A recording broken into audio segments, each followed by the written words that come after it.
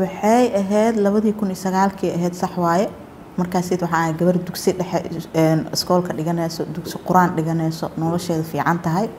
Aabahay markaas wuu fiicnaa wadanka markaasd xoogaa colaadaa ka jirtay. De gabar reerkeeda ku dhex jirta oo aabaheeda u noolaa oo u shaqaynayay oo nololtii ugu fiicneed ku jirta ahayn. Aabahay kadib wuu xanuunsaday sariiru koray labadii kun sagaalkii waa baxnay waa xasuustaa candhamiidlaa ku galnay garoowe dadkii candhamiidlaha ku galnayaa ku jirnay. Ujeedadeen ma ahayn markaas inaa garoowe joogno yaman iyo meelahaas inaa sii aadnay ahayd hooyada markaa waxba ma haysanin guriga alaabtii tataalaan gadgadanay saa ugu baxno. Gaalkacayaan tagnay gaalkacaya lacagta noogu go-day markii dambe candhamiidlaa nala saaray. Saasaa ku galnay garoowe. Kadib noloshii dee meelaan garanaynin waxaa waxaan ka bilownay hooyada waxay heshay nimanka garaashiyada isa sameeyaan ee waxay u heshay inay qada u kariso. Meeshaa ka shaqeyn jirnay anigana markaas waxaa la ii geeyay cid oo aan u shaqeynayay. Ebel annagaa waxaa ahayn dad loo shaqeynayay oo iskoolkeeda subaxii aadayso oo dugsigeeda aadayso waxaa dhacday meeshaa ka shaqeynaya way adkeed kolleyba inaad la qabsatay adoo lagu shaqeynaya haddana inaad shaqaalo noqotid. Meeshaan ka shaqeyn jirnay oo maxaan kuu sheegay nolosheena aboosta iska noqotay hooyadayaa markii dambe aabahay wuu dhintay waa la joogay. Nin adeerkayaa markii dambena gacan qabtay. Shaqadii ani waa sii watay kolley hooyada intay dhashay anaa ugu shaqo badnaa. Gabdhihii kale guriga iska joogeen. Ani waa shaqeynayay kadib waxaa igu dhashtay inaa waxbarashadii sii wado. Kadib markay noloshu isku tootoostay oo garooba degnay oo noloshii noo hagaagtay oo dad ka mid noqonay waxaa dhacday waxaan sameeyey inaan waxbartaa isku dayay saxaafad. Gabadhaan s d n ka shaqeynay hindiyo in la dhahaya umaleynaya markay dhimanaysay eed maalinta igu dhalinaysay waxaan ahaa dadka oo heesaha dhegeysta ma markay shaqada qabtaan. Gabdhaha waxay jirta markay hoosha iyo guriga nadiifinayaan heesaha dhegeysto aniga marka war iyo waxaasan dhegeysan jiray. Markii dambo gabadhaa waxay igu tiri maa saxaafadda iska baratid.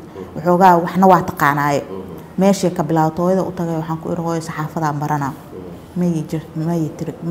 ma jirto haddaa wax baranaysid umulisanimo ama kalkaalisnimo baro taasaa ku anficayse shaqooyinkii ay qabanaysay waxa ay ka dhigeen qof aada u ad adag oo maaraynta nolosheeda iyo tan qoyskeedaba aan cidna ku hadlayn xitaa ilaa markii dambe ay guursatay oo ay noqotay hooyo carruur leh.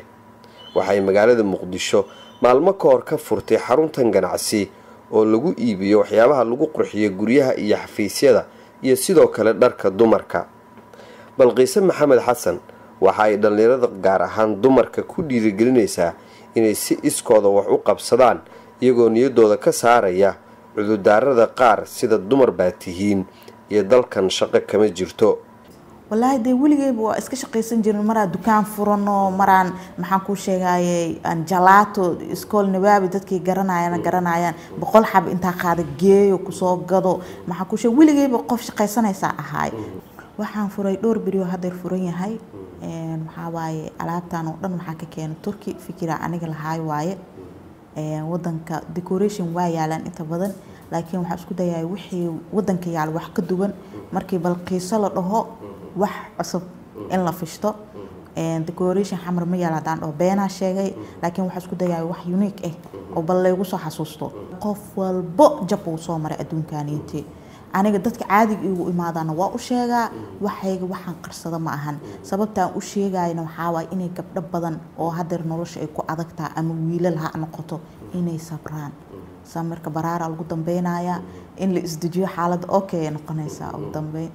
Waxaa jirtay xigmad odhanaysay qof kasta heerka uu nolosha ka taagan yahay ma ahan inuu ku gaaray si kadis ah.